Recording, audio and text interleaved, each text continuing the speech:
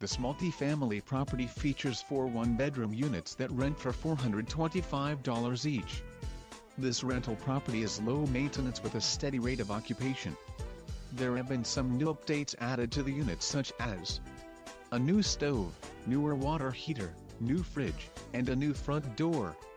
The property has four furnaces, four water heaters, and access to washers and dryers for the tenants.